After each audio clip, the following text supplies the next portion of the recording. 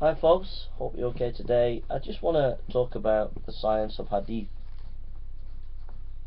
What I got out of it. I spent a whole day yesterday studying, and a lot of that studying was the science of hadith. I listened to a lecturer uh, in hadith for about two hours, and then I read uh, Bukhari's hadiths,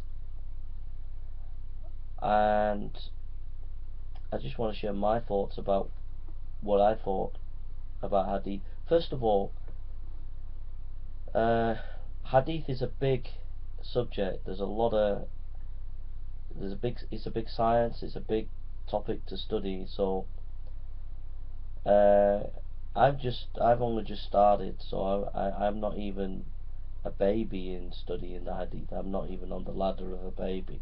There's so much to study. But I've made a start yesterday, and so I learned that there's so much to study, so much to read, and uh, some, you know, it's a massive topic, uh, and so I'm gonna, I'm working on studying the Hadith systematically. I'm working through Bukhari to begin with. Secondly, um, the criteria of what makes an authentic Hadith is very interesting. I find that an interesting topic of how you work out the criteria, who says the criteria is the correct criteria. The third thing that I find fascinating is how did the hadith start? The most authoritative hadith. Where did they start? And I'm interested in finding the origins of every hadith, the early origins, not just the chain connection, but finding out right at the beginning where did that hadith start. I find that very fascinating. Uh, fourth is there is controversy and debate about how you interpret hadith. There are Sunni and Shia differences on on the hadith. There are Western scholars that take a different perspective on hadith and I'd like to learn more about these different perspectives.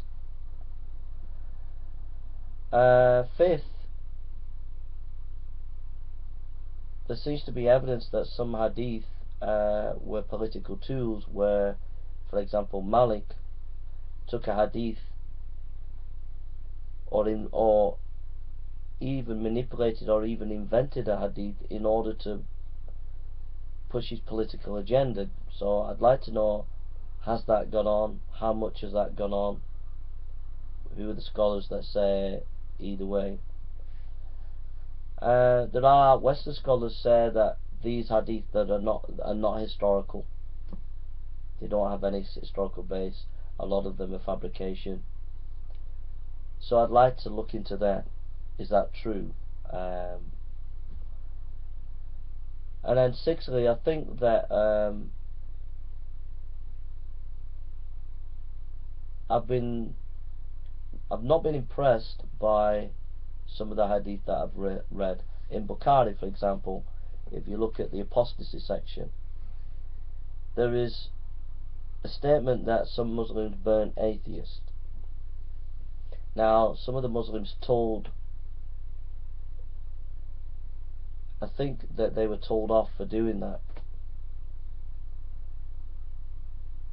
But then it gets worse because it talks about that a Jew, a Jew became a, a, Muslim and then went back to his Judaism and he was in prayer and he got killed because he he, he apostatized.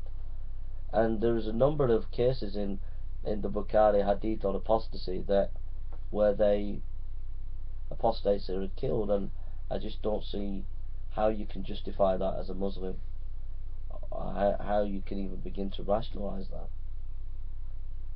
Um, and then seventh, I think there's a big question about the sufficiency of the Quran. If the Quran says something about prayer generally but doesn't give you the specifics and you have to use a hadith that gives you the specifics about prayer, then it puts into question about the sufficiency of the Quran.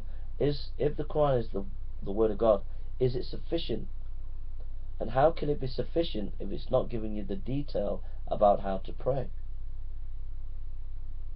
But you have to use the sunnah which is in the hadith.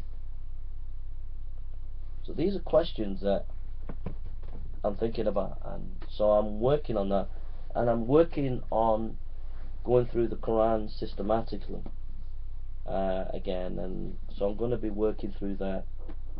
Um, I find Islam fascinating. Uh, Islam fascinates me. Uh, and so I'll be doing that. And I, I have a calling with Muslims. I, I love Muslims. I enjoy talking to them. I, I respect them. And uh, I love talking about Islam. And uh, so I'm looking forward to uh, studying Islam in a much more scholarly in-depth way over the next few weeks and months. So I'm working through the hadith working through the Quran and I'm going to just get back uh, I'm, I'm going to start getting back to studying Greek and Hebrew but when I get time I'm going to go back I'm going to go and try and study uh, Arabic. Um, so thank you. Take care